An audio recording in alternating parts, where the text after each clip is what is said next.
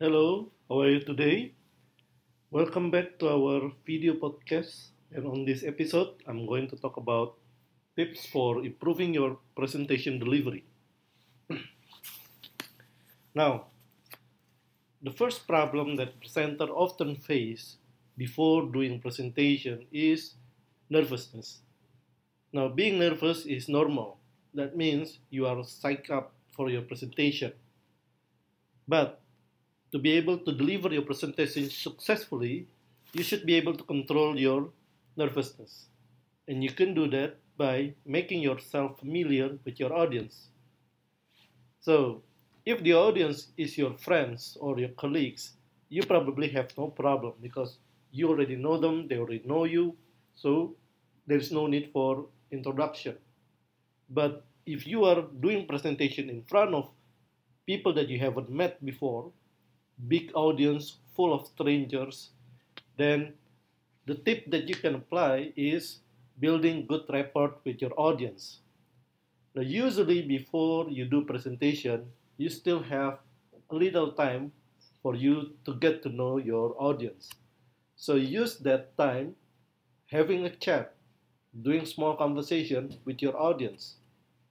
By doing small conversation with them, you are able, you are you are going to establish good rapport with your audience. It's your first time to meet them. It's also the first time for them to see you. However, having a small conversation before the presentation will help reduce the tension. So when you go on stage to do your presentation, you don't feel nervous anymore because you are doing presentation in front of people that you already know. So come early when you do presentation. If you do presentation at 9, come at 8.30. So you have time to prepare yourself, prepare your presentation, and you still have time to do small conversation with your audience. and then, give outline in your presentation.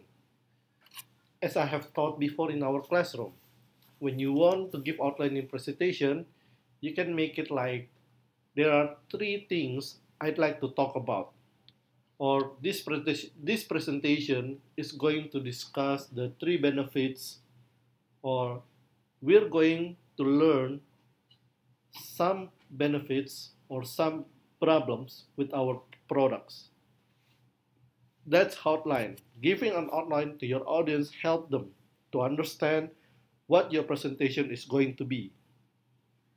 And then show patient. When you do presentation, you have to be lively. Express yourself. Show your facial expression, your body language. If the topic is serious, you have to be serious. When the topic is happy, you deliver it excitedly. So be passionate.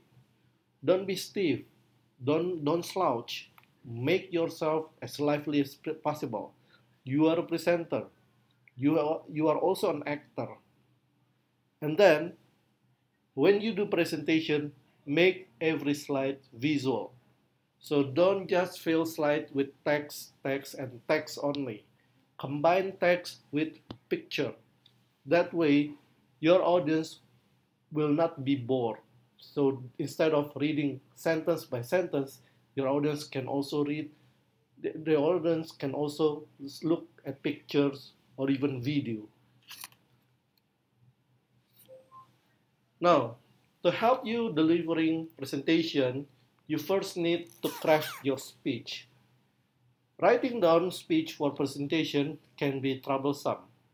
So, you need to know what is the essential point of your presentation. You can do this by taking a business card. The 15 words rule. Write what you are going to talk about in your presentation in just 15 words. Or use the back of the business card to write what your presentation is going to be. If you can do that, you will not have problem in developing your ideas for your presentation speech. So instead of using small empty piece of paper, use small business card. If you can summarize your presentation in just 15 words, that's great. The rest will be just will be just about adding details. The next step, know the room. It is very important for you as presenter to know where you're going to do your presentation. You need to know whether you are going to present in a small room or in a big room. Is the room is going to be full of people or your audience is going to be small? What about the equipment? What equipment are you going to use? Are you going to use your laptop? Do you need to bring your projector? If there is a projector in the room, then you need to know how to use the projector. So familiarize yourself with the room setting. That way, you know how to deliver your presentation appropriately. You know whether you can move around or not. You know how to work out problem with projector or with the laptop. Try out the equipment. That's why it is very important for you to come early. If your presentation is at 7, you have to come at 6.30. If your presentation is at 8, you have to come at 8.30. So know the room, surveillance. Start strong. The first three minutes is the most important part of your presentation. Make it as good as possible. Your attention, the attention of your audience is greatest at the opening and at the closing. So 30, the first three minutes is very valuable for you as presenter. You need to make them excited. You need to make them passionate with your presentation in the first three minutes. If you can make them attracted to your presentation in the first three minutes, then you will not have problem in keeping their attention for the rest of your presentation. Don't ramble in the, in the introduction. Just start with the speech that you have prepared. Introduction is good, but you need to remember, you probably don't have much time for a presentation. So if you only get 10 minutes to do your presentation, then give 2 minutes for the introduction. If you do make mistake in your presentation, correct the mistake, but don't apologize too often. If you make mistake in grammar or in pronunciation, that's okay, but you don't need to apologize. Oh, I'm sorry. Oh, I'm sorry. I didn't mean to say that. If you keep doing that all the time, that will be boring. Your audience will not like it. So make sure don't make mistake and if you do make mistake just correct the mistake and get on with your presentation. Keep it short. Your audience attention is greatest at the opening and at the closing. So make sure your presentation is short. But it depends on time allotment. If you get 15 minutes for the presentation, finish it in 10 minutes. If you get 20 minutes, finish it in 15 minutes. You need to do that because the most interesting part of the presentation is actually in the discussion. And the discussion is after the presentation. So no one complains on short presentation. Remember that. Nobody complain on short presentation. So make your presentation quick and efficient and you can dis discuss all the details in the Q&A these days a presenter should be mobile. That means you cannot just stand in one place all the time. So don't stand close to your laptop from the beginning to the end or stand close to the screen from the beginning to the end. Move around the room. Get close with your audience. Interact with them. That's how you build connection. Don't be shy. Don't be don't be nervous even if the audience are strangers, you need to move around because moving around will create a dynamic appearance on you. Your audience will think that you are a dynamic person. And besides, moving around actually helps you to ease nervousness. If you stand still in one place, you will be more likely to be nervous. But if you move around, when you move around, you are reducing your nervousness. You are reducing your tension. And the benefit of that, you can get close to your audience, you can engage them personally. Now, mobile means mastering the room. So, back to our first step, that is, know the room.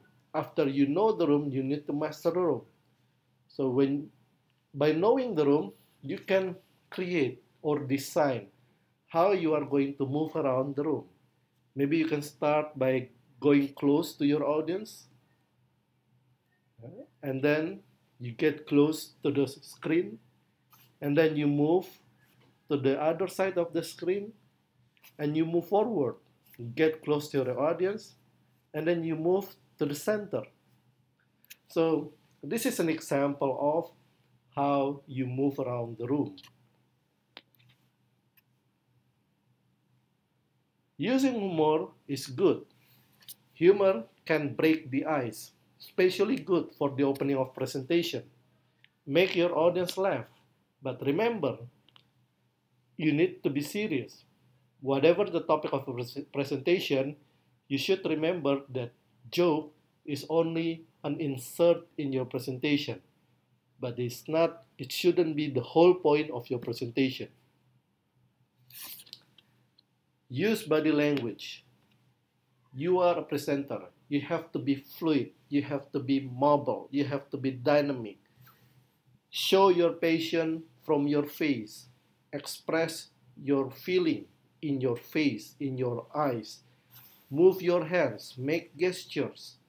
Synchronize your facial expression and body language with the topic of your presentation. That way, you can engage your audience and you can make your presentation interesting. So, your presentation is actually a package of you slideshow and the message. To be able to move around the room, you will need remote control device. This is great because using remote control device allow you to move freely around the room. You don't need to be close to your laptop or screen. And then with free, uh, with remote control mode, you are able to express yourself through body language, active body language, and besides, this remote control allows you to move your slides anytime you like. You can advance forward or you can return to the previous slides. Of course, because you can move around, you can get close to your audience. Occasionally, during presentation, you want your audience to focus on you. Now, this is very good for you to remember. Press B to make the screen of your laptop black or press W to make the screen white. Now, pressing the B or the W will create a blank screen. That way, your audience will focus on you. And then you deliver your speech. And when you're ready, you can press W and continue with your slides. So the B and W key is very useful when you want to, to give monologue to your audience. Room lighting. Well, these days you don't really need to turn off the, the light in the room because the technology has made projector so good that it is able to project screen clearly and brightly on the wall. So you don't need to turn off the light. Besides, by keeping the lights on, you make your audience able to look at you during your presentation. Eye contact. Eye contact is very important. Never hesitate making eye contact. You are the presenter. Your audience is looking at you. So you should also look at them. Throughout your presentation, don't turn your back. Always show open posture. When you look at your audience, don't scan them. Look at them intently. Look at everyone in the room for three seconds. Three seconds, three seconds. So look at everyone in the room, three seconds. every person. Give three seconds look. Of course, you need to smile at the beginning and at the end of your presentation. So, about making eye contact, this is the golden rule of the eye contact. When you make eye contact, you just focus on the triangle. You don't really need to look at the audience in the eyes. You can look at the forehead or the nose or the cheek. They will not be able to tell the difference. When someone is looking at you, you cannot tell whether that person is looking at your eyes or at your mouth. So do the same thing. Look at look at the eyes, make eye contact and remember this golden rule of looking at the person's face. If you are doing presentation in a big room with a lot of people, then you need, you need to break down the room into three areas. So you can start first with your right, the right side of yourself. And then you make eye contact to the left side. After that, you give your attention to people in the middle. And don't forget to give your attention, making eye contact with people in the back. So that's how you work out the room. Making eye contact in big room and small room is not that difficult. All you have to do is look at your audience directly and don't scan. Apply the 3 seconds rule. Finally, successful presentation depends a lot on preparation. So rehearse, rehearse, rehearse. Rehearsing helps you to master your presentation. By rehearsing, you are going to be able to deliver your presentation without having to read any hand note because after doing so many rehearsals with your presentation, I estimate that you're able to master at least 80% of your presentation. Now, by doing rehearsal, you are able to synchronize the speech and your slides. So you know when you have to move your slide, when you have to pause, because you have rehearsed your presentation many times. So don't be embarrassed. Prepare your slideshow. When you are finished, rehearse your speech. Do it many times, again and again. Once is not enough, twice is not enough. You have to do it until you are one part with your presentation. Of course, by doing rehearsal, you are able to create the body language that you are going to project during your presentation. Are you going to be excited? Are you going to be serious? How you move your hands, how you look at your audience. Rehearse, rehearse, rehearse. And finally, by doing rehearsals, you are going to be able to achieve smooth presentation. So, that's for my discussion on delivering the delivery of presentation. We'll meet again in our next video podcast.